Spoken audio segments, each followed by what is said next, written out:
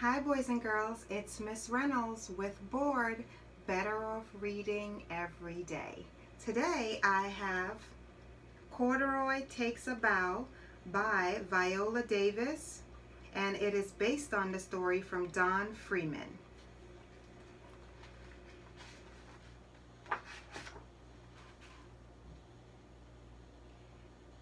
Just starting to snow when Lisa and her mother got off the bus in front of the theater.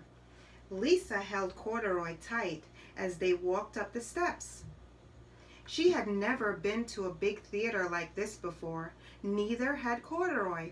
They had come to see a performance of Mother Goose rhymes.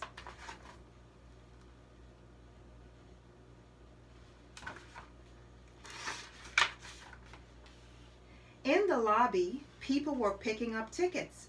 Ushers handed out programs. A brass chandelier hung from the ceiling that was painted with clouds. Suddenly, the lights flickered on and off. That means the play will start in a few minutes. We should find our seats, said Lisa's mother. Lisa held her mother's hand a little tighter and held Corduroy even closer. The usher took their tickets and showed them where to sit. The seats are so soft, said Lisa. She put Corduroy on her lap and looked through the program.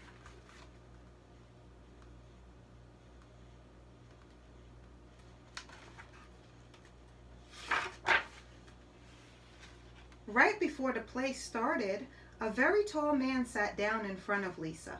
Mommy, Lisa whispered to her mother, I can't see. Here, dear, said her mother, we can fold our coats together and you can sit on top of them. When Lisa stood up to sit on the coats, the orchestra started to play. She forgot all about Corduroy. He slipped off her lap and fell underneath the seats in front of them.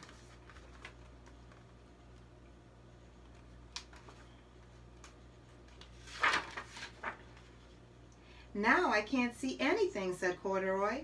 Maybe if I go closer to the music, I could see the stage. He peeked down the aisle and saw some stairs. When Corduroy got to the top of the step, the big red curtain went up and up and up. Corduroy was so startled that he lost his balance and stumbled into the orchestra pit. He looked around at all the musicians and thought, this is a good spot to hear the music, but now I can't see the stage at all.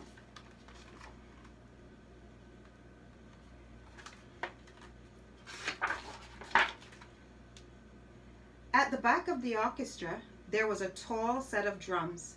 Maybe if I sit, sit up, sat up there, I would have a better view, he thought. Quietly, he crawled through the orchestra, past feet between instrument cases and around the music stands towards the drums.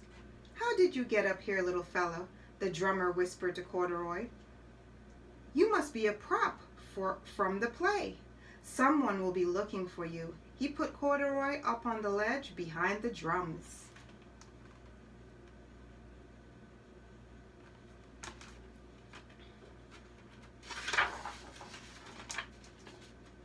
There was a chair off to one side behind a curtain.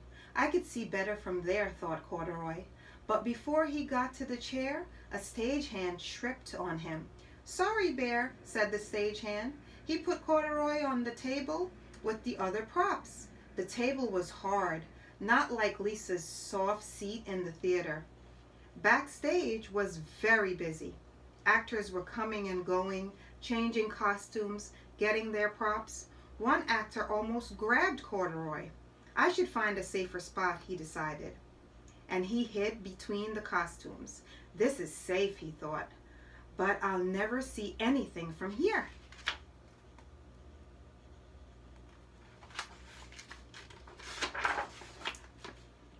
There was a tree with a basket in it, its branches in the wind off one side of the stage. It would be able, I would be able to see from there, Corduroy thought. He climbed up the tree and into the basket. Well, thought Corduroy, this is more like it. Not too high, not too low. This is just right. He settled in and watched the Mother Goose performance. I love the theater, said Corduroy.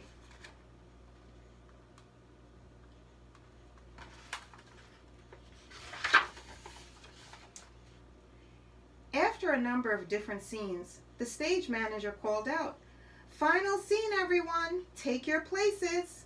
Stage hands quickly moved new scenery onto the stage while the actors went to stand in position.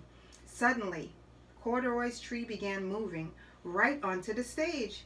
Then it started to grow up, up, up where the tree, the basket, and Corduroy went.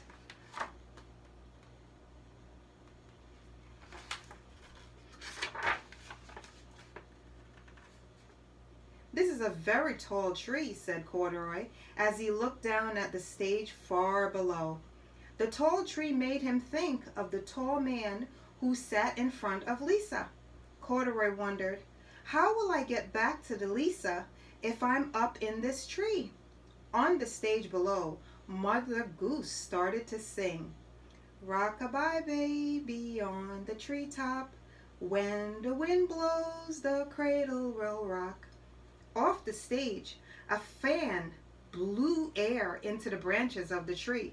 The cradle began to rock back and forth, up and down, back and forth, up and down. Corduroy was getting dizzy. He held on to the sides of the cradle as it rocked faster and faster.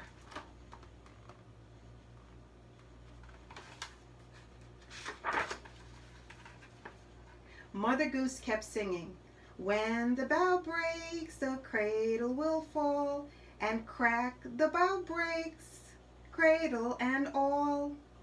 Down, down, down came Corduroy, cradle and all.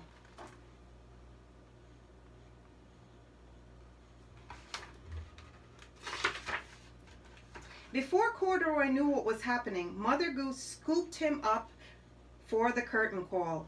The audience clapped as the actors bowed. Corduroy bowed too.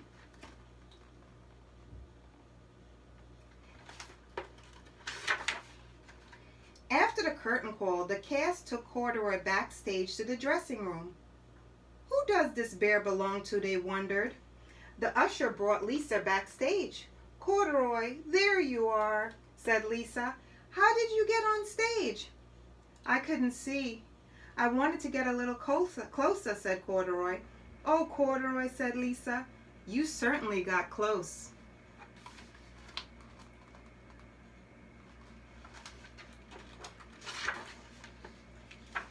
The very next day, Lisa made a theater just for Corduroy.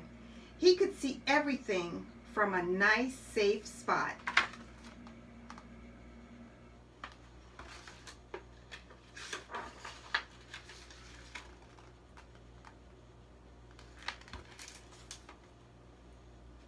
The end of Corduroy Takes a Bow. Boys and girls, I hoped you liked the story. I chose this story, of course, because it's Corduroy, but also because going to the theater is something that is very, very fun to do. And eventually, if you haven't done it already, you will once we're able to be out and about. And reading stories takes you to many places. In the first Corduroy story, we saw where uh, Lisa met him at the department store on the shelf. In the second, it was where she took him to the laundromat and he met the artist and got lost. And now we here we are at the theater. So if you want to go many places without ever leaving your house, you know what to do. Bored, better off reading every day. It's Miss Reynolds and it was my pleasure to go to the theater with you and Corduroy. Bye.